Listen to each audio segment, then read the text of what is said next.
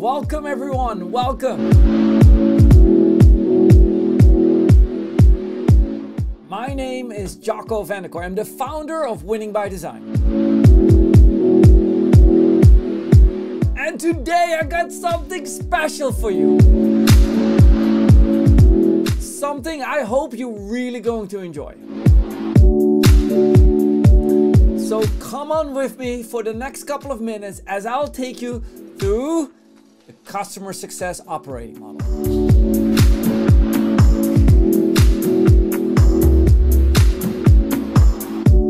I'm going to talk to you about what it is, why we need it, how to do it, and I'm going to give it all to you. This is part of the Winning by Design open source initiative. So sit back, relax, and enjoy this fantastic ride that we have prepared for you, okay?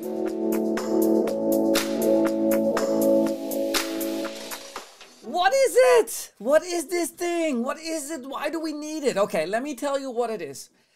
What we're looking for and what I'm going to leave you with today is a standard on how recurring revenue businesses can work. I'm going to take you through the ins and the outs of how that works. And I'm going to do at the end of this session, I'm going to leave you with an operating model you can do, uh, you can immediately use, several of the core elements that you can implement in your business, and a series of blueprints that you can download from our website. And all this is available as an open source initiative, meaning you can download it, you can use it. When you use it and you publish it, please attribute Winning by Design. But other than that, it is there for you to use. And I'm going to show you in this session how it works. I'm going to take you through these four specific tasks on the agenda. First, I'm going to talk a little bit about the impact, then moments that matter. Then I'm going to talk to you a little bit about the metrics and you know like why they are so important, how to apply them correctly. And then I'm going to show you all the elements of the model that you need to know to get started right away. But let's get started with impact. What is it and why do we need it? What you see per today is that when we are looking at independent organization and when we're looking at a recurring revenue organization, there's a very strong focus on the lead generation, the lead development, the targeting, and the sales functions. These all have very uh, uh common methodologies like MEDDPICC and MEDDIC and ABM and BANT, and they are quite you know good to use. That's not the point here. What they what the problem is, they don't interface with each other. They don't work with each other. That is the challenge. And as a result, departments don't work with together. Departments like customer success and sales. Functions don't work together, like as we'll see in a second, onboarding with expansion. And individuals sometimes don't work together. And if you think that this makes it easy on the customer, it does not. Look at the challenge that a customer faces down here. Look at what the challenge, what he or she has to do in this, right? This is a day in day out reality of where customers are de dealing with. They are like really like struggling with this. They have to like like get through this journey, right?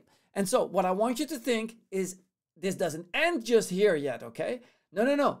The customer still has to be very persistent and go even further. It has to go even deeper into this. As we look into the customer success side, look at what there is. There are no established frameworks like MEDDIC available in that. There are no like common used approaches. The customer success side, because it's fairly new, has no deeply rooted methodologies yet. And so the customer has to be very, very persistent in order to make it to recurring revenue. Now, I'm not native, so I'm going to call up on Siri. Siri, can you tell me what is it? What makes something really, really persistent? Continuing firmly or obstinately in a course of action in spite of difficulty or opposition. Ha! Well, that seems to be a pretty accurate description of what a customer has to go through. They have to be really persistent in, in order to do this.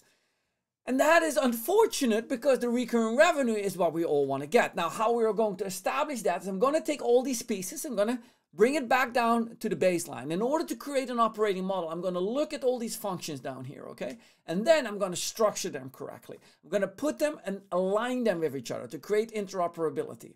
I now mentioned several of them what the departments are. And for example, we call these functions. So I got not marketing, sales, and customer success, but I'm thinking about lead generation and lead development and sales. Those are functions of customer acquisition, where functions of customer success are the onboarding, uh, the ability to achieve adoption, and the ability to expand. I'm going to generate and create, as we will see today, an operating model that combines all these, that creates several things. Number one, interoperability between the departments. This is super important. Can marketing, with their lead generation and lead development functions, interface with the sales functions, interface with the onboarding functions, and so on? A common language. Are we all speaking the same thing? Are we all learning how to talk about our customer the same way so that the customer doesn't look about frown and like, wow, what is this person talking about? Why do I need this? Because essentially, historically, there has a lot of issues occurred in that, okay? And then standardized data model. Today, what we see is that many different GTM motions use different you know, like uh, data la language. So, for example, MQL and SQL may be something that you're very familiar with if you're in a marketing department. But now, with the popularity of PLG, we're introducing a whole new level of metrics and that what we're looking at. And that starts to confuse it because now I not only have different departments and functions that speak a different language, now I have different data. Why do we need that? Because we are all trying to achieve that thing, what you see there at the back, okay? That is the thing that we really want to achieve. We want to achieve recurring revenue. That's the absolute thing that we want to accomplish. Can I get up? Yes! Yes! That is what we want. We want to achieve recurring revenue, okay? Ah, okay, now with that said, and with that level of enthusiasm, hold on, right? What we're going, how are we going to do that? How are we going to create that? I want to bring this to you, and I want you to take a close look down here. Growth in a recurring revenue machine is diff- is based on a different first principle. It is based on a different first principle. And we haven't adjusted our businesses to that first principle. And let me tell you what that first principle is. The goal is to achieve recurring revenue, right? And in order to get recurring revenue, I got to deliver recurring impact. Because if I do not deliver my customer again and again what they want, they are not going to renew or expand and so on and so forth. That is a problem. That means that the principle of growth, which historically is win many and more new accounts, now comes from you have to achieve recurring impact to deliver recurring revenue. No recurring impact, no recurring revenue. That means that that recurring revenue, let me dive in. Okay, there we are. That recurring impact down here is super important. That is what I want to accomplish, okay? I want to accomplish recurring impact. Now, I cannot get to recurring impact if I don't have that, right? I need to get to that recurring impact. So, first things I need to get to, I need to get to the customer to first impact. If I get to first impact, then I get to recurring impact. And in order to get to, to first impact, I got the client and us to agree on what impact we're going to commit to, right? Okay, that's fantastic. Guess where we're going? We're going that way, okay? Let me jump over. Okay, what we're next going to do, we're going to talk about we have to buy on impact, okay? If I commit to impact, I got to buy on impact. And if I got to buy on, on impact, I got to go through the sales cycle here, right? I got to, you know, like make sure I prioritize on impact, which accounts I'm working with. I got to, when I'm talking to the customer on a discovery call, I got to identify which impact that they want. And if I'm targeting an organization, I actually may have to identify early on, target only those companies which who's who we can help achieve impact, right?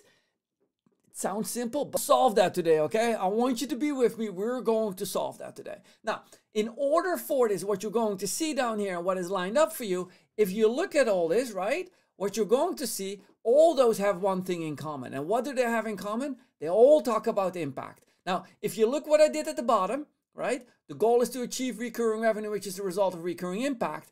If you eliminate those two middle sentences, you get the idea. The goal really is to achieve recurring impact. Achieve the recurring impact, everything else will be a result. You will get the recurring revenue out of that. That is impact, an impact based mindset. That's the first thing we're going to work off. Next, I'm now going to talk about how we can create that. What you'll see here is a journey that goes from the left to the right. The journey travels through, right? You know, customers are flying through You know, like, and this is like for us a good way to start. Okay, let's start with that at the beginning. I'm gonna go all the way from the left, and as I travel through, you know, the customer you see like jumping a little bit up and down, going back and forth. How do I do that?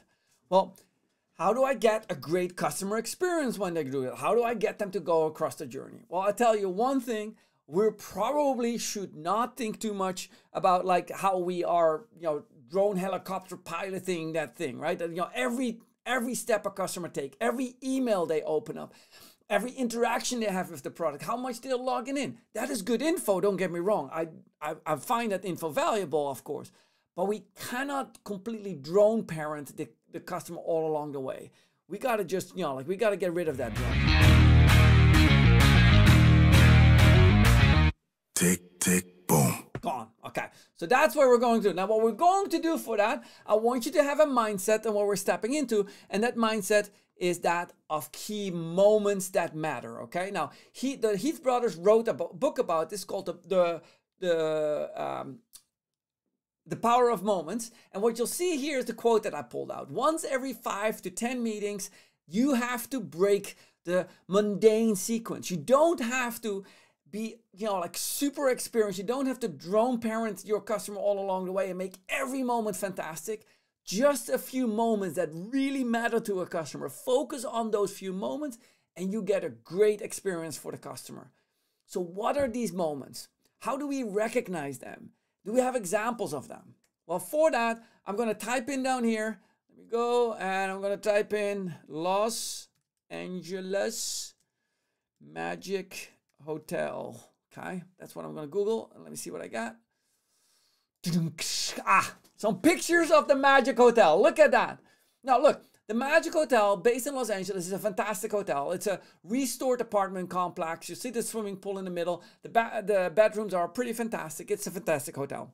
Having stayed in many of the hotels in, in, in that area, I found it amazing that they were rated the eighth best hotel. Like, look, no offense, this is a fantastic looking hotel. That's not the point I'm trying to make. But they're ranked higher than some of the top top notch hotels that we know in the world to be top notch the four seasons the Loews on in, in santa monica area like they have fant- they are rated better how can they be rated so high how can the they have a five star rating and the number eighth best rated be the number eighth best rated hotel on on the hotel sites why can't that be well you look at that they have something and what they have they have this and what that is is a popsicle hotline. That popsicle hotline, anybody in that pool, any kid in that pool that is in that pool can call, can get, you know, like somebody on the line, order a popsicle, like the ice cream, and get it delivered straight to the pool. That is a fantastic experience for these kids. And if you're in this hotel and you have a room like like what I set up down here, that is a setup for you, a you know, young family with two children sleeping in the next bed. This is a fantastic experience. That experience says, they have created a moment. And we're going to call that for today a popsicle moment. That popsicle moment is a moment that matters for that family, and it matters so much that they get the eighth rated five stars all the way through on their website. That's fantastic for them. Now, what if we can create popsicle moments throughout our journey? What would that look like? What would a popsicle moment journey look? What are these moments that matter for our customers, or in particularly as you watch this video, for your customers. And again, we're not looking for hundreds of moments, right? We're not looking at every perfectly written email, every perfectly sent out piece of piece of content. We're not looking at that. We're looking at what are the moments when you engage and when you are working with a customer. That is one of those moments that matter, where you work literally with a customer. How many of these moments are there?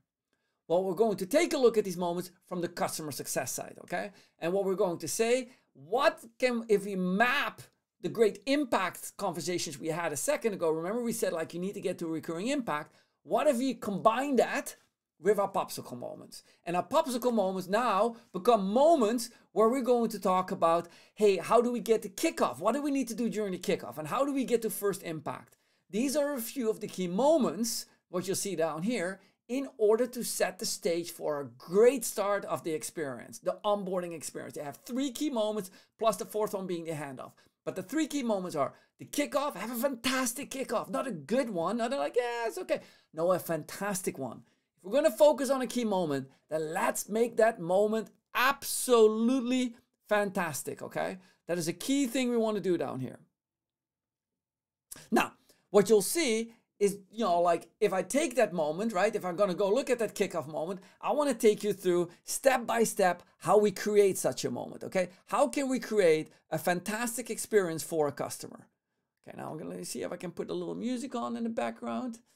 Uh, what do I got? Okay, Okay, so what I'm going to do, I'm going to take the moment in order to create a great kickoff call. What I need to do, I need to prepare I need to make sure I share best practices because the people coming on the call, hey, you need to do this. And I need to have a plan for them. Here's how your next 30, 60, 90 days looks like. And I need to follow up on that. Let's say that that is what the actions are. Now, what I've learned is I need to transfer critical account information. We call this the spice bill.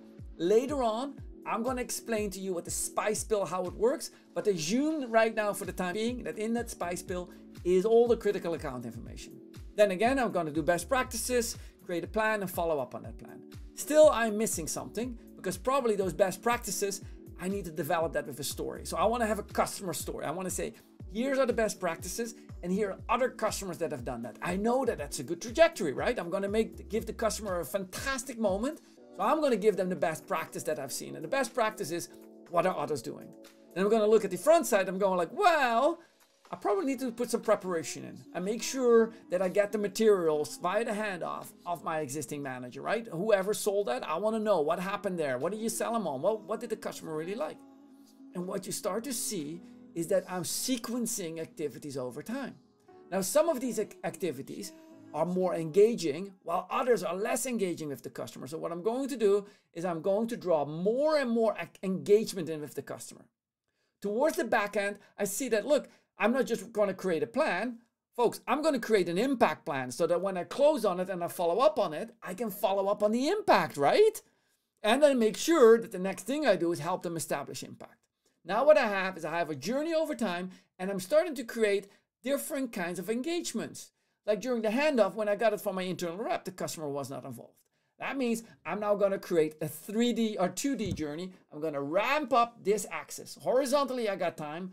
Vertically, I got customer engagement. And what you see after the handoff, I'm going, customer doesn't know that I'm working on them. I'm trying to prepare for our kickoff call. So the engagement goes down. Customer doesn't know that I'm doing something. As I jump on the call with them, I set up the call, the engagement goes up. And as I give them more and more spiced information, the engagement goes up. And guess what? What will happen to the engagement when I start sharing them best practice? Will it go up or down? what you will see, it will go up. Best practices. I love best practices. And then as I start getting, you know, like hearing about story, I go, oh, that's even more. And I ramp up even higher. And now what you'll start to see in this 2D picture, you start to see that over time, I'm increasing the engagement of a customer. That is what a popsicle moment is. Now, what I want to do, I want to make sure that I pass this knowledge on to the next rep that, that needs to onboard a customer. So I'm going to put in all kinds of little points of advice. I know that if between the handoff and the kickoff, the time is too long, oh my gosh, I mean, we're going to be at the churn risk, right? I mean, like, get ready, folks. We might be well headed for a churn if I do that. And, you know, for sure, we probably do not want churn.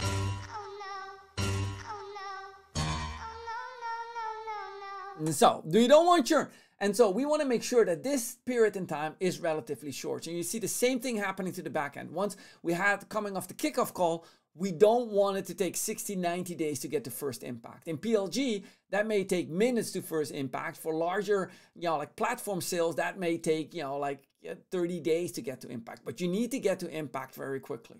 Okay? So think about this. This is my journey. But if I hand this off to another person, I want to give them advice. I want to say it's like, hey, do this, do that. These persons may be remote. These, this handoff may happen electronically. And so what you see that I do down here, I add all points of advice.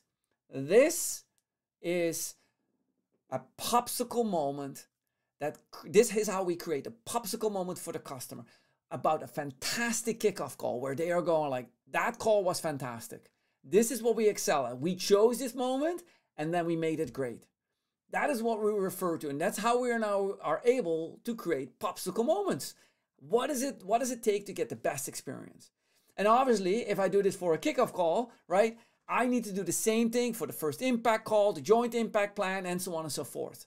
And if I think about onboarding, obviously I'm going to have the same or similar kind of like calls needed for my for for my adoption process. I need to drive impact. Hey, it was great that we established first impact, but we need to drive impact as well. And if I say like, oh my gosh, you know, like what is the business review, quarterly, monthly, you know, randomly, I need to review that. You need to let the customer know that you achieved impact. Achieving it is not good enough. Driving it is not good enough if they don't know about it. So we need to make sure that we let them know. Other plans you see down here, scoring the health, where are they at, triggering place, what are they, you know, like we are so commonly used to like, okay, well, month 11, I'm going to ask for the renew- renewal. There are many triggers that we can play a place in the time was there a change in the account of the ownership? Did uh, the company get acquired? Did something happen for the company? Did they celebrate major news? These are all trigger plays. These randomly happen, but you know and you can prepare for them in advance of time because they generally always happen. There's often a champion change in the account. That is a very common one, so we can prepare for that. And of course, the renewal execution. And the renewal execution, like I said before, is not something that you should work on in month 11 of a 12 month uh, contract you should have built that. But if you do this right, then you have a fantastic, the customer has a fantastic experience. Obviously, there's more beyond adoption. We also want to create expansion. How do we create a great expansion experience? So here you see some of the things we need to plan for. Where is the expansion opportunity within this customer? Is it more seats or is it more usage or is it in a different group or a different function or is it a different department altogether? Or is it not even within the company? Is there an expansion opportunity outside the company? And if, if I figured out what it is, I need to plan for it, which is the second uh, uh, blueprint here. I need to execute it. I need to make sure, can I capitalize on that opportunity together with my customer, right? Not like I'm gonna arm twist them over. And I need to make sure that if the customer decides to like end the agreement, uh, whether that is for their bad business reasons, they may have gone out of business, or whether that is because they chose an alternative provider as they outgrew your services, you need to have a proper account termination. NDAs need to be terminated. Data need to be uh, uh, removed from the system. Needs to be, uh, you know, like uh, you know, legal. There are legal reasons that we need to make sure we remove it from all the systems. Passwords need to be, you know, like destroyed and whatnot. That gives us an idea on what the first part is. What I wanted to talk to you about. Remember, first part here is like there are in this case we got four onboarding plays, five adoption plays, and in this case four expansion plays. And we're going to provide these plays to you over time as part of our open source initiative. We're already going to get you launched with a whole bunch of them, but over time we're going to expand and give you more and more and more. These plays, and as we grow, right, we call it revision one, you may come up with different plays as well. And what we're going to do is provide this as open source. And as I say at the bottom, it's an initiative that we're running as Winning by Design. We believe this is so important this is so crucial to the future of recurring revenue. The companies who are not doing this are going to invent and reinvent the wheel over and over again and not build on best practices from the past. That is the moment. So now we know from the first step, we know, you know what? Impact was really important. Recurring revenue is a result of recurring impact. How are we going to create that? We're going to create a journey for the customer with a series of popsicle moments, not an endless amount, no, a series like four or five per per per function and those moments we're going to create or, and create a really good experience. We got to also learn how to measure that. Are we improving? Are we is the iteration working? Are we improving at the right amount? Is more recurring revenue spun up or are we declining? We need to learn what's working what's not working. Scaling revenue is simple. Do more of what works and stop doing what doesn't work Duh. That's how simple it is, okay? So I just want you to, to know that. Now, next what I'm going to do, I'm now going to show you that, you know, like why certain metrics are important. What you'll see here is that historically, if we look at the right side of the bow tie, we see that growth comes from that right side of the bow tie. Why? Because it compounds. Doesn't mean that's more important than acquisition. Not at all. They're equally important. And let me say that again. They are equally important. And because they're equally important, you know, we need to put more emphasis a little bit on the right because on very often that right side is not well not as equally represented as what we call the blue side, the sales acquisition side. So We need to learn where growth comes from.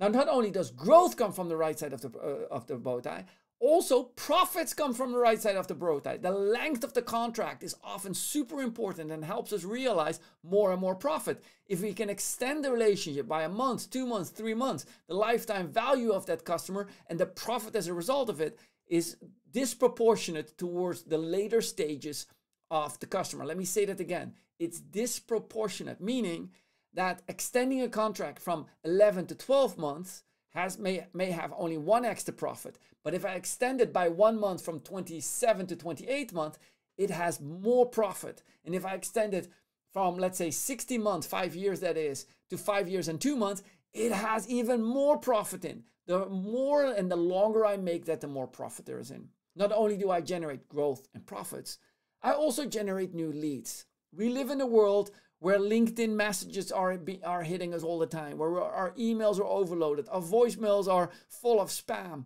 And so the best way to get into new accounts is via existing customers recommending and introducing you. It not only generates growth and profits, it also generates new leads. And also, on top of all that, it provides great customer feedback on where new products and services should be expanded, in which direction they should be expanded. That brings to me an important thing. We said this, this chapter was going to be about metrics, right? I just want to let you know that although customer satisfaction, such as NPS and other customer satisfaction uh, stats, are important, absolutely. Churn metrics are also important, absolutely.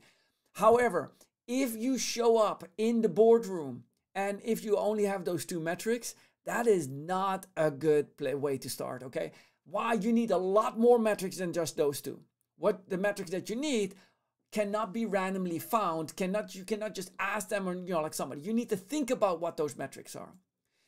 What we have here is the customer journey and the impact. And on at the bottom here you see down this that here there those are all the metrics. And i use standard saas metric prospecting mql sql and so on and so forth.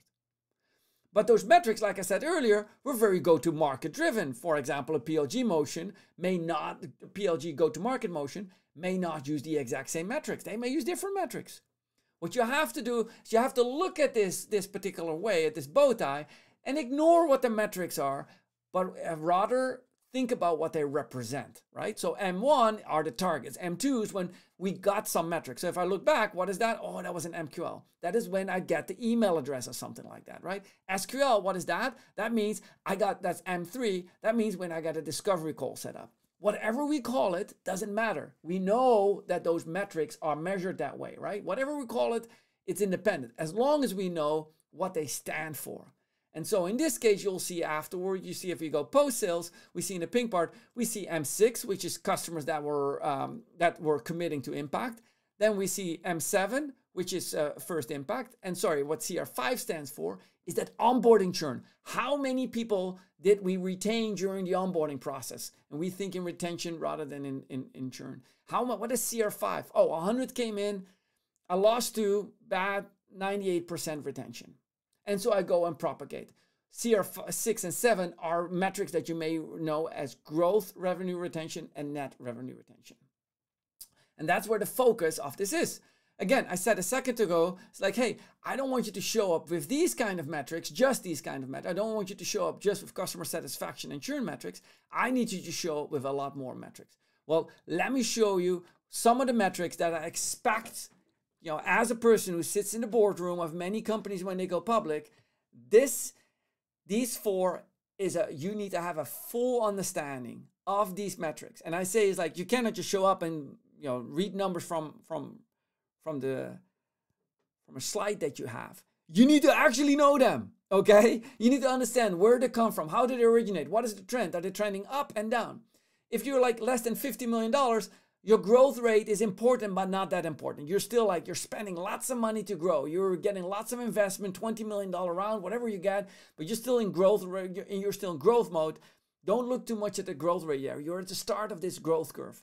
If you're, for example, below 25, don't focus too much on being profitable yet. You're still investing in growth, and that's the reason why you got funding.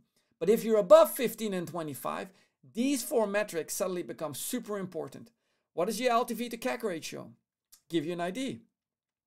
On average, on average, it takes a successful SaaS company that sells a platform about 20 months to recoup CAC. 20 months to recoup the cost of acquisition. Okay?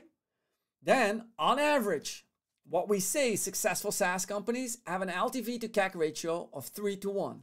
Now, if I take the 20 months and I multiply that by 3, I get 60 months. That means that on average, my customer success function needs to retain, renew my customers for five years minimum on average across all customers. That depicts a very, very different level of, of, of gravity that is needed than, oh, these people are just taking care of the renewal every year. This is the gravity of the situation. You need to sustain, on average, across customers with an LTV to CAC ratio of 3 to 1 and a CAC time of 20 months. You need to have that for five years. This also explains why PLG in part is so successful right now, right? Why? Well, in product led growth, it is the customer who uh, acts and behaves as the marketing and sales function. So the client acquisition costs have dropped to what? One month, two months? It's just a marketing uh, cost that you spend on that. And therefore, you know, three to one to LTV to CAC ratio, pff, if you spend two months of you know client acquisition cost, they only need to be with you for six, seven months. So one annual contract, and that customer is profitable. You see how these metrics explain that? You need to know about minimum about these four th- things. Note that net dollar retention and net revenue retention is the same thing. You know, obviously, as a company who serves globally or you know many um, uh, unicorn companies, for us it is important to realize that revenue retention can be done in any denomination. How do you do this now? Okay, how do I set this up? At the end, at the first part here, okay, I pick a few moments. I measure the metrics, right? I pick my moments. Where are my popsicle moments in here? Which ones do I'm going to pick, right? And as I pick those moments, what next what I'm going to do is I'm going to measure the metrics. I'm going to establish a blueprint. And what was a blueprint again? A blueprint was this thing, right? I'm going to establish this great experience. Say like, okay, this is what we currently see as the best experience. That's step number three. I'm going to coach my team how to coach and train. I'm going to draw the your step through. Hey, here's how you do this, and here's how you do that, and these are the steps that you need to take. And then I'm going to activate it via tools, which I will talk about in a second. Activation via tools mean not just you know like in your uh, your customer success management system it may go in your record call recording solution it may go into your documentation system and whatnot that was for the metrics what I'm now going to create, using the elements that we have up to this point, I'm going to create the customer success operating model using a few key elements. You now know how it works. I'm going to give you the elements needed to create this. Okay, are you ready for this? You know, like, like what do I have here? Are you ready for this? Yes, you are, right? why does this dude have a boxing round bell with him? I don't know, people. I don't know. Sometimes you have to have these things. You see him, you go like, I always wanted that, and you get one. Yes, yes. You see, that was a moment that mattered. You will remember the ding of the bell. okay, let me give you the key elements. I'm going to separate them into. I'm first going to talk to you about the key elements of all this, and then I'm going to show you some of the blueprints. There's many more. It would take an hours for me to take you through all these, but I'm going to I'm going to focus today on these core elements and demonstrate a few of them and and you know, you show them what that is. Okay, but first and foremost. I got to talk about those four core elements. Core elements, therefore, I'm going to name them C1 to C4. Okay, you know, as an overview, I'm going to start with the customer journey, which we kind of like already spoke about. Um, why did we speak about that? That entire thing that I just did with you, that, you know, like that's the customer journey, right? The popsicle moments and so on. Spice, that spice build, that is going to be important. Then I'm going to talk to you about impact and following, and we're going to wrap it up with critical event. So let's first consider the customer journey done. Popsicle moments, I know what my moments are. Now I need to integrate in order for all these great moments to interact with each other, I need a framework so that I can that needs to be in every blueprint. So that gives the customer a uniform approach, a uniform that they feel like this, know, like this is a great and fantastic experience. So for example, you have this today when you go inside a doctor's office, they always talk about the same things. And what are those things? They talk about blood rate, uh, uh, blood pressure, heart rate, um, uh, temperature. These are like standard things. So as you move from one department to another, that's how they communicate. That's a framework. So too do our customers need to be communicated with in a standard framework. Instead of what's the temperature and what's your heart rate and what's your blood pressure and so on and so forth, we're going to use an acronym called SPICED. Now, SPICED, S stands for the situation. These are static data. These are the things that you find on a, on a LinkedIn page, like what's the title of a person. Pain refers to a problem that the customer is trying to solve. This may be, um, you know, like finance companies that currently have a security threat, right? If you're some uh, software company, you are experiencing that you have a denial of service attack on your on your uh, on your service. What you want, customers want impact. They want to fix the problem so that you know, like that, you know, that they no longer have that. And often impact is measured in it helps me grow the business, it helps me reduce cost, it helps me alleviate this pain, and as a result, I'm having this. And it needs to be done by a certain time. We call that a critical event. And not doing it by that time has consequences. A critical event is different compared to a compelling event. A compelling event has no negative consequences associated with it or positive consequences. A critical event says, like, dude, if you hit 1 million users, you need to be doing this, okay? Or if uh, by January 1st, we need to have adhered to this federal guideline. That's a critical event. Or else we're going to face penalties. And then D is decision. That stands for all the elements of the decision the decision maker, the decision process, the decision criteria, and so on and so forth. What you'll see here in this is what I call it sequential. Let me explain what that means. If I reach out to a customer and says, I noticed that you are the CEO of company XYZ, that is less relevant than if I reach out to them and says, Hey, I noticed that you have this pain. In other words, pain is sequential to the situation. Pain supersedes the situation. If I reach out to a customer and says like, "Hey, I noticed that you just got funding, $20 million, and that you are growing and that you're hiring," that is the impact that they want. They need impact because they are with the growth, they need with the new funding, they need new growth numbers. And so I'm going to talk about impact. That means that impact supersedes pain, which supersedes situation if you know state of California or state of uh, Colorado has adopted new uh, federal mandate that something needs to be done by by January 1st, then when I reach out to that customer, then I know that critical event supersedes impact, supersedes pain, supersedes situation. That is what I call you know like sequential. And if a customer comes to us and says, "Hey, we're submitting a, a, request for proposal," they're in the decision time frame. Oh my gosh, you got by this time to to respond. Again, that they have already have that critical event date. They've already established that, and in result in response, they are bringing up an RFQ, a request for quotation, or RFP, a request for proposal. That means it's sequential. That also means that it's ca- you know, uh, causal. That like like these things are connected with each other, right? That is what I want you to understand. That's spiced. That spice gives me the framework. So when I talk to a customer, like, look, if I think in a, line is what is happening in a hospital, if you have a warm temperature, right, that is not the disease itself. That's a symptom, right? And so they need to find really what is going on with you in order to determine that. That is causal. You have a temperature of fever. This spice gives me a first ID to indicate what is happening. Critical event is the most important thing if we have a critical event. That means something is happening. I can now insert this right into our blueprints. And as you'll see, so for example, if I now go back to that earlier blueprint, right, I can now during the kickoff call say, after I set up the call for the customer, I can now apply this and say, well, thank you all for being here today. Um, are we still good till the bottom of the hour? Okay, fantastic. Well, Jennifer, who you work with, just introduced me to your account. And she said that this is your situation, that the pain you're currently experiencing is XYZ, and that you're using this product that I'm that I, we're onboarding you here for today to establish this. Do I get that right? Yes. Great. Now Jennifer also told me you needed to get this absolutely done by the end of this week. Did I get that right? Yes. And she also told me that if that doesn't happen, these are the consequences. Okay. And I I gather Mike and Mark, you're involved in this, right? You're the folks who want this. Okay. Well, let's get you started. I just relayed critical account information in this. And that means that I now know what I need to get. That is the spice bill. And that spice bill and that spice allows me to navigate through an account and always look up.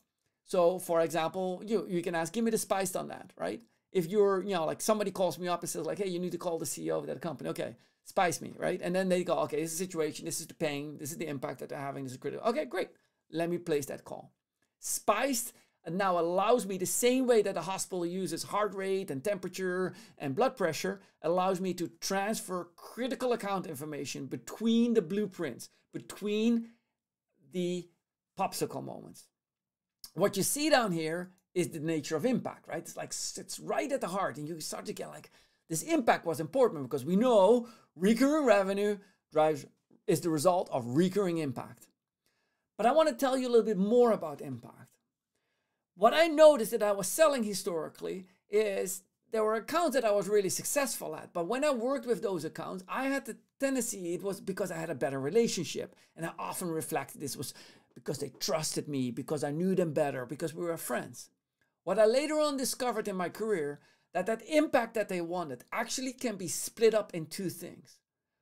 One is the impact that the company gets. It's the impact that what we call rational impact. It's the benefits a company gets. It's to save money, increase revenue, make things faster and quicker.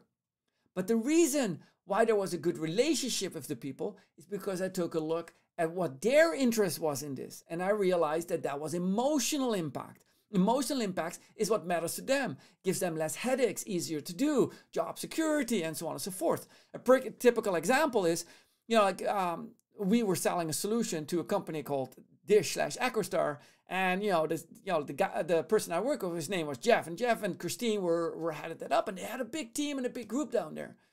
But something broke, something broke down, and so we had to fly in engineers. This is a satellite Earth uh, station, and it has to go up, and you know, like they go off the air, it's you know, like it's bad, right? And so we were flying in. And while the engineers were working, what can I do? I was the sales uh, person. What could I do?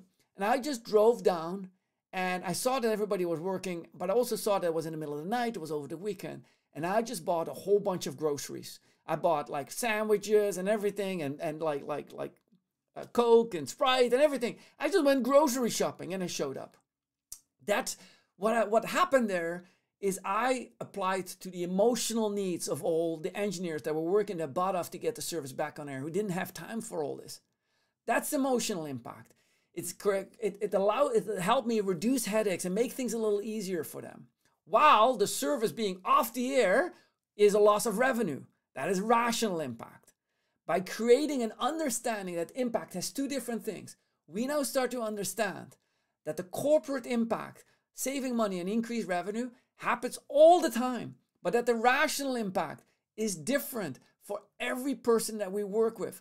Every person we work with has a different emotional impact. And since we're working sometimes with two, three, four, five dozens of people, there's so many emotional impacts. Some people want it faster, the other people want it simpler. Those the other people want to go home on a Friday afternoon and not have to work over the weekend to fix it. That's the, the that's another thing that we learned about impact. The next thing that we learned about impact, by separating it in rational emotional impact, we realized that people make emotional decisions, which they then rationalize with facts and figures. In other words, when you're working with a customer, you in the customer success organization really have to learn what is this emotional impact? Because whatever it costs the company or what it brings them in revenue, from that person's perspective, is secondarily. Now, I get it. If they help to save the company a million dollars, of course they get job security, right? Like, hey, they are connected, don't get me wrong, but you are there. You need to learn what is their emotional impact. What do they get out of this? What this tells you that impact has dimensions to it. And so we need to learn how to navigate that. And isn't it beautiful that this open source methodology that we are sharing with you has this level of depth integrated to it? Okay, like, look, this is fantastic. Like we all talk about saving money, but we know in the end of the day that person on the on the other side of the line is having a heartache. Like they don't care. Like finally, finally, that's what you know, folks. I love sharing this with you because I physically experienced this as I was flying all across the world, being responsible for systems that sometimes break. Okay, That is customer impact. So we know the journey, we have the popsicle moments. We know that the way how we transfer between popsicle moments is spiced, and we know that inside spiced, the core of that is impact, that we have rational and emotional impact. So customers not only are there to make more money and lower the cost, but you're there to help them. So what is that last one? Critical event. Well, let me step you through. The point is that the moment in time that we shift shifted as a business to recurring revenue to SaaS services, something incredibly took place. And many people don't realize that. What happened is if I buy routers from you and I get a pallet full, as the seller, I'm taking on very little risk. And as the buyer, I'm taking on a huge risk.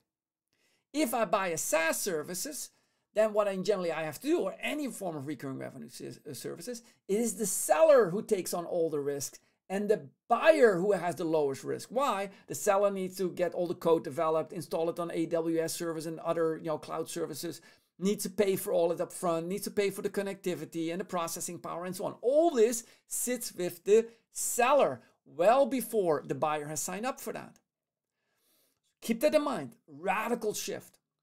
Now, what is occurring, the second radical shift is taking place, is then we dropped the price, right? We dropped it from paying a million dollars for routers to paying $10,000 a month or $1,000 a month or $50 a month for a PLG service. We shift that. No longer, if you sell a million dollars, yes, you betcha you, you got to have budget. But in most cases, $1,000 a year, $10,000 a year, from, or $5 a month, that is well within budget. SaaS and the recurring revenue model was created to smash all the budget requirements, to smash it, which is the reason why post 2008 so many companies became successful. Post 2008 is when the financial markets collapsed and the SaaS services came in. That first generation of SaaS services, all coming out of 2012, 13, 14, are all based on that. They smashed the budgets. Obviously, you know, like uh, when you buy something, we also see that the ROI is important, right? I bought something for, for $1,000. Does it give me $1,000? Again, you're in the world of customer success when the customers want to have return on that, right? They want a return. They bought something, they want to have a return on their investment. Here, however, also something has taken place that you need to know. Every SaaS service, every SaaS service out there is expected to have a positive ROI within 12 months every seller that you work that we work with will say, you know, this product practically pays for itself. Within 12 months, within a month, you will get your money back. So what we see that SaaS services are designed to fit in all the budgets, to smash them, and are designed essentially to have an incredible 10x ROI. So anytime you try to achieve that, you think that the critical event is around that. It is not. What the critical event is, is that third thing priority. And this is what you feel on the customer success side every day. Because this means if the service goes off air, it is a priority. If I don't go on air on time, for example, I need a service operational by the launch of a product, uh, a sales kickoff, or something like that, right? That's priority. Forget about ROI, the budget, that was already taken care of. Your critical event is a priority driven event. And why is that so important? Because now nowadays companies have dozens of SaaS services and they all need to integrate with each other. And that complexity of the integration and where it goes wrong is pushing on priority. A critical event today is no longer about money and just getting to ROI. It is about getting to that at the right point in time. What you tactically see, and this is tactical if you want to just tune out or just sit back here and just like, hey, just educate me a little bit more. I just want to learn a little bit about this. Critical event is impact as a function of time. That's what it is. You know, like you need impact at a certain time, that creates a critical event. It also depicts that there's a relationship. Like when you are familiar with mathematics, you know, when you go through integral uh, integers and you go to, to that, you, you change layers, you go to a different dimension. There's the critical event and impact are connected dimensionally. Okay. Why? If I say critical event is X. I need this, you know, this needs to be on air during the onboarding by January 1st. And if I say, what happens if you miss that date? Boom, I'm going to get the impact. The customer is going to spit out what the impact is. And if we have agreed with the customer, okay, you want to save a million dollars a month, when do you need that done by? And they say, okay, we need to have it done by June, June 1st. Boom, you got the critical event date. These things are connected, okay? Anyway, that was just me, you know, showing off a little bit about how this methodology, how deep it goes, because like, dude, I really thought about it. Okay, I, re- I mean, I have, I need something to celebrate this with. Do we have something to celebrate this with? I need something. Yes, I have. So what we see here now, the four core elements of putting all this together, right? I need a journey. If the revenue is not represented day in day out in front of the customer, in front of your company, then you're not, you know, like you're not reflected. Most marketing and sales funnel completely omit that right side of the of the bow tie. So C1, we got to capture the entire customer. So step number 1, make sure that we have a bow tie and not just a marketing and sales funnel.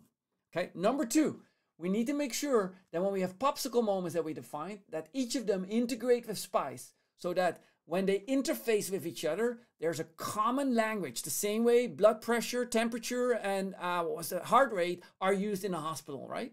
And then when we look at impact, start to learn what are the emotional and rational impacts. Why?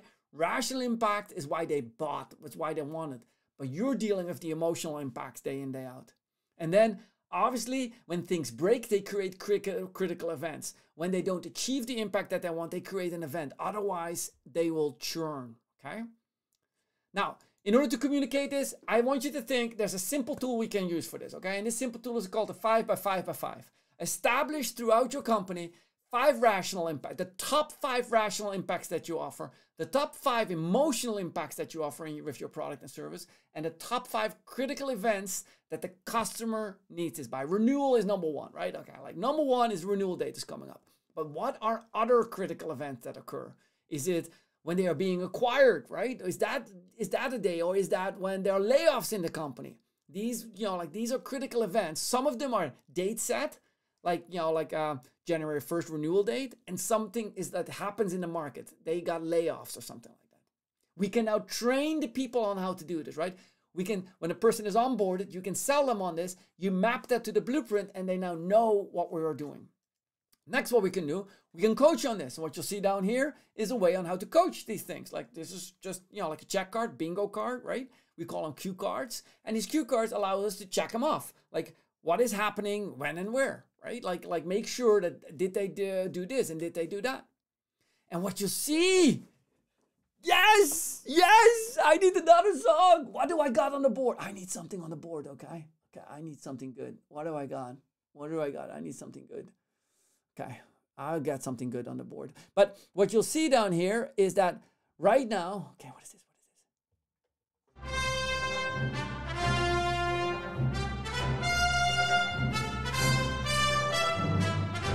this? Yeah? Yeah, yeah, yeah.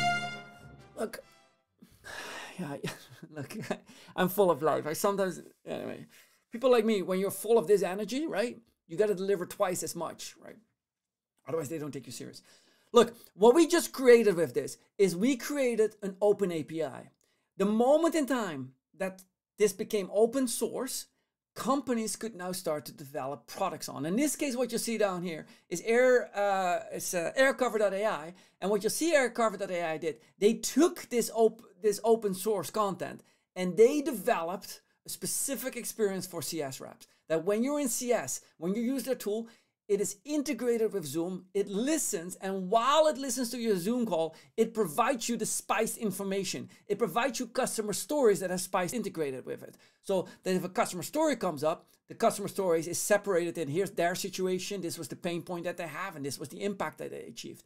It provides you that information. It listens to the to your call, and in real time, this is important, in real time coaches you on what to do next any company can now activate. So any company, once you're on an, on this kind of like open source system, you can literally send the API over, right? Or in this case, we make the as we make the API publicly available, you know, like, and they can integrate with that, so that all your tools now start to communicate with each other as well.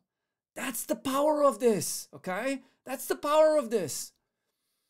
Ah, I actually like that. Like, yeah, I'm using that in the future as well. Okay. What we now are doing, we are providing this as open source. All these things that you have there at the top are provided to you as open source. Next, what I'm going to talk about is what about these bottom? These two are open source.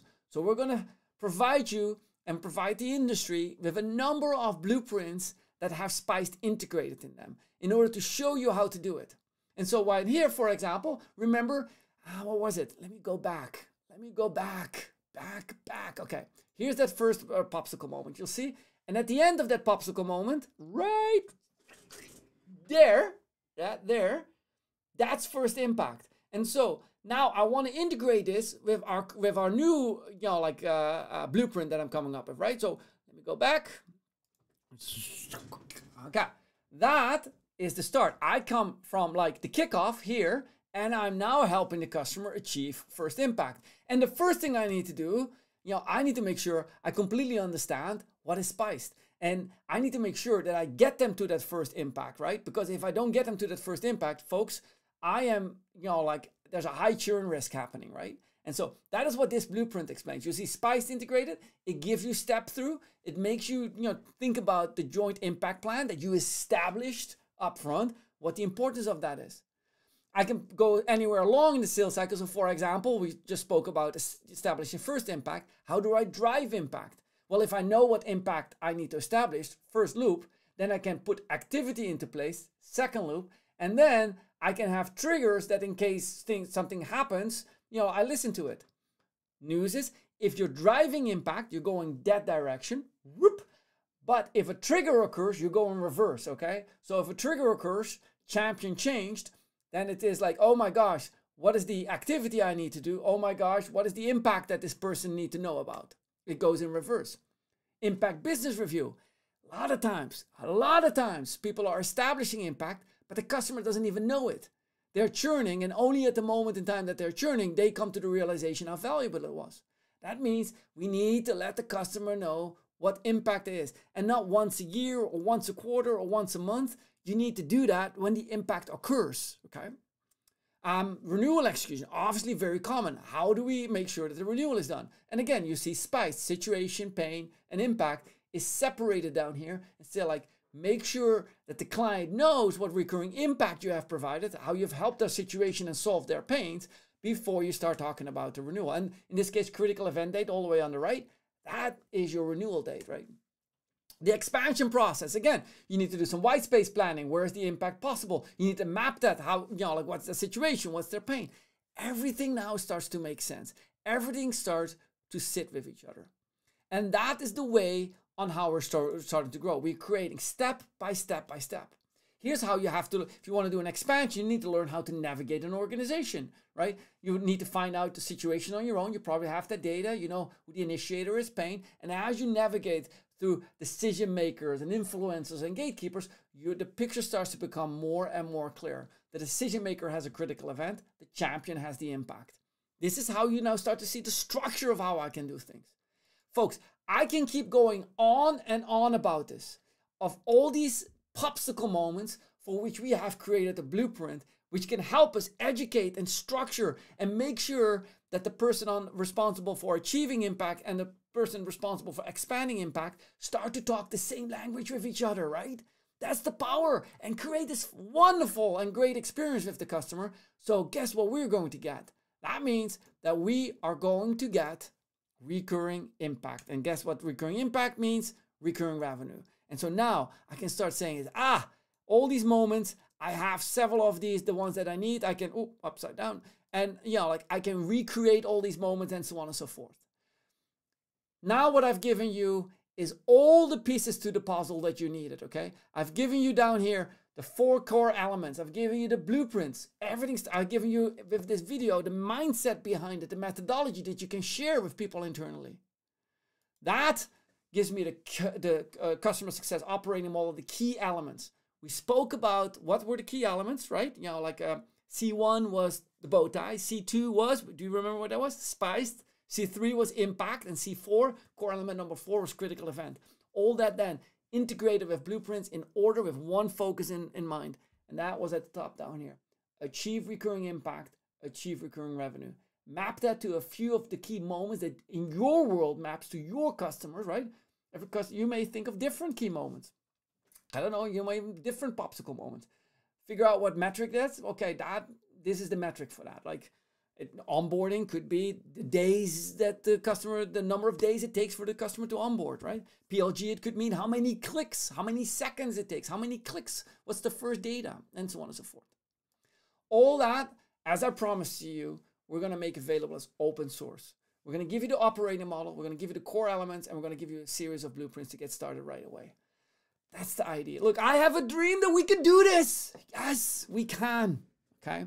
Okay. With that said, and you know, bringing us to a close, I hope that you enjoy this. I want to say is like, look, have I established? I now have a standard way to help customers all across the organization achieve recurring impact, so that it results for us and for our companies recurring revenue.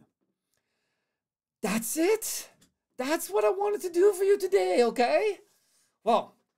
I hope I have earned the fact that we as a company can help you with this. We have helped hundreds and hundreds, over 600 companies, some of the world's largest and fastest growing companies in the world. This methodology is deeply rooted in what actually goes on outside there, right? You see M-Files, you see On Backup. These are the companies, Humuro, Asana, right? These are some of the fastest growing companies out there, right? So I want you to experience what has happened here. So that's number one. Number two, we have programs for that. You know, like we run diagnostic programs. We can help you determine those popsicle moments. We can help you determine the metrics, which is very common. We can create playbooks around those. I don't necessarily want you to start with that, right? I really welcome the opportunity to sell to you, but I'd rather see that you start tinkering around with it yourself and educate and see how this works and make sure if this is really your thing.